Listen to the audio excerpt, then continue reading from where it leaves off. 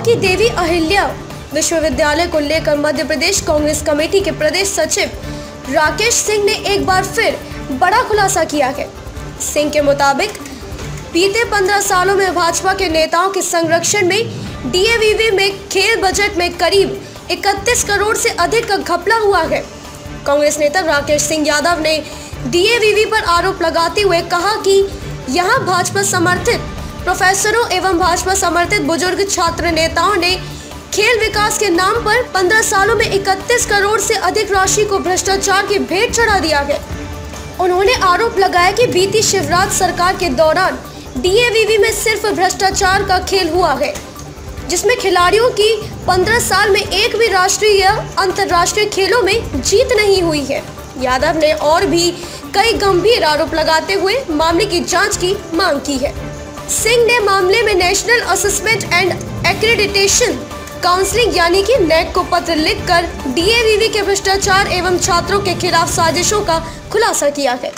वहीं यादव ने कहा कि इस भ्रष्टाचार की जानकारी दस्तावेजों के साथ सीएम को दे दी गई है।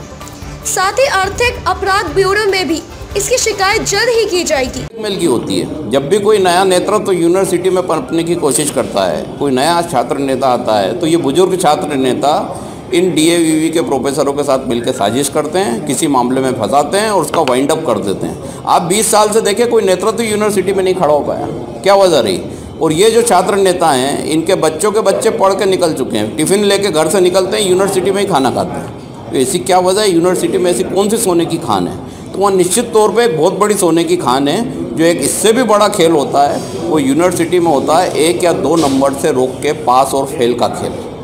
आपने देखा होगा, हर साल एक या दो नंबर से कई विद्यार्थी रुकते हैं। उसके बाद उनकी रीचेकिंग रिवॉल्यूशन होता है, फिर उनके नंबर बढ़ जाते हैं। ये जादू है क्या?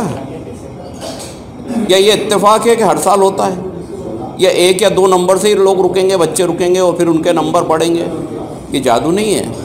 इसके पीछे रेट तय है। बीस हज़ार से लेके एक लाख रुपए तक की रिश्वत खाते हैं। उसके बाद नंबर बढ़ाते हैं। ये आज से नहीं चल रहा है बीस साल से चल रहा है। और इतना आश्चर्यजनक है कि इतने बुद्धिजीवी शहर में कोई इस पर आवाज़ इसलिए नहीं उठाता है कि सबके बच्चे उस यूनिवर्सिटी में पढ़ते हैं। आप आवाज़ उठाओगे, आपके पास वहाँ से फैकल्टी का फ़ोन आ जाएगा आपका बच्चा भी तो यहाँ है, कभी ये रुक गया तो क्या होगा? तो ये एक ऐसा अंधा खेल है ऐसा आर्थिक घोटाला है और ऐसा भ्रष्टाचार है ये जो युवा पीढ़ी को नष्ट कर रहा है। जो बच्चा पास है उसको दो नंबर से रोक दिया। जो बच्चा पास है उसको एक नंबर से रोक दिया। फिर इनके दलाल और ये छात्र नेता सक्रिय होते हैं बीस हज़ार से लेके एक लाख रुपए तक जहाँ जैसा चेहरा है वैसा तिलक करके पैसे ले लेते हैं। कुलपति साहब ने इस विषय में कुछ चर्चा की है? मैंने नेक के डायरेक्टर से चर्चा करी है। मैंने माननीय मुख्यमंत्री जी को बताया है। और ये विषय कुलपति के बूते का नहीं है। इस सालों से यहाँ एक काकस है जिसने साजिशपूर्ण तरीके से देवी अहिल्या यूनिवर्सिटी को अपने कब्जे में रखा है।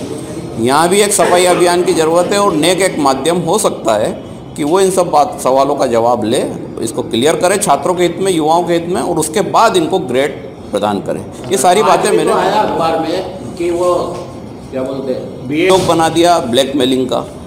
और उसके बाद एक, ये घोटाला मैंने आपको बताया स्पोर्ट्स का। ऐसे अनेक शंकाएँ हैं। सब जगह बजट है। ये खेल 300 करोड़ के बजट का है। उसको कैसे लूटना है? क्योंकि किसी का बाहर व्यक्ति का ध्यान नहीं जाता है यूनिवर्सिटी में। हर व्यक्ति ये सोचता है कि उसका बच्चा पास हो जाए, उसको डिग्री मिल जाए। उसको लेके जो ब्लैकमेलिंग होती है, उसका पैमाना बहुत ज़बरदस्त है और उसी को उजागर करा है और इसको लड़ाई को हम आगे तक ले जाएँगे। जो मिर्ची कांड में छात्रों को फंसाया, वो प्रोफेसरों की साजिश थी। उनके खिलाफ क्या कार्रवाई करी? कुलपति ने आज तक कुछ भी नहीं करी। क्यों फंसाया था? क्या सबूत दिया आपने? कुछ भी नहीं दिए। तो ये साबित होता है कि कहीं ना कहीं पूरी दाल काली है जिसमें हर व्यक्ति हिस्सेदार है।